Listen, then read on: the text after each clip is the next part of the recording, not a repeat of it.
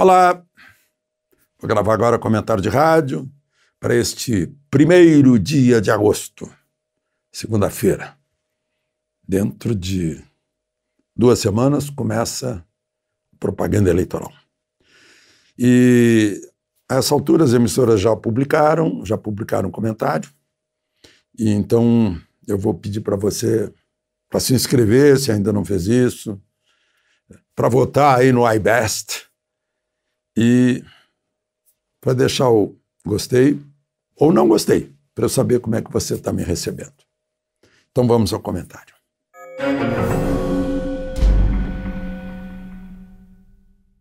Bom dia. O presidente Bolsonaro mencionou uma ideia de levar o desfile de 7 de setembro, eh, que no Rio de Janeiro é feito normalmente na Avenida Rio Branco, para a Avenida Atlântica, em Copacabana. Eh, eu pensei, por quê? Bom, em primeiro lugar, porque são 200 anos da independência que nós vamos comemorar. Dois séculos.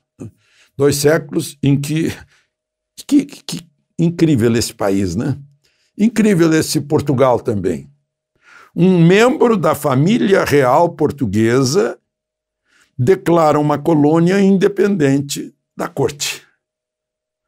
Né? Tanto que no grito lá diz: laços fora, soldados, as cortes querem mesmo escravizar o Brasil. Independência ou morte seja a nossa divisa. Né? Temos que comemorar isso.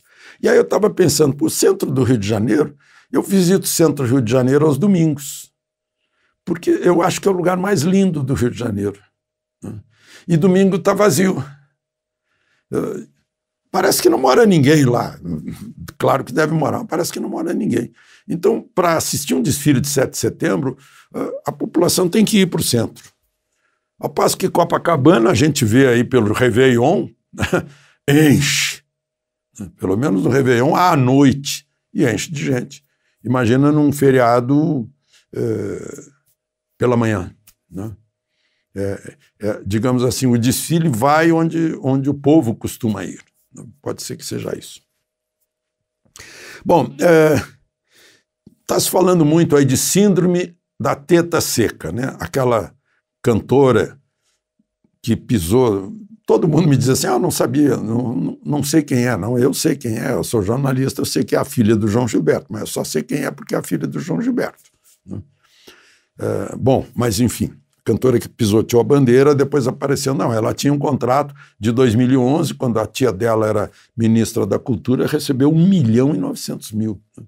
Então, acabou isso. Hoje, a cultura brasileira é a cultura mesmo, não é o, o, o, o show business, não é o entertainment, não é o grande, o artista rico que cobra 500 reais ou mais. Né? Não, é para estimular quem está começando, a raiz, a cultura brasileira do interior, né? a verdadeira cultura brasileira, a, a, pequena orquestra do interior, a, a, a bailarina que está despontando, né? uh, o teatro do interior, o museu da cidade pequena, isso sim. Né? E, mas tem outra classe que assinou lá o manifesto, né? Que a gente nota que é político, porque não diz o que deveria dizer. Se, se vai defender a justiça e a democracia, tem que defender a justiça e a democracia, mas não defende. Né? Pega a crítica do presidente e diz que é um, uma agressão, uma ameaça. Né? É, isso o Goebbels fazia lá em outros tempos. Né? É, deveria falar no, no, no, em tudo que foi feito aí, que as rasgadas à Constituição, né? e não fala, mas enfim.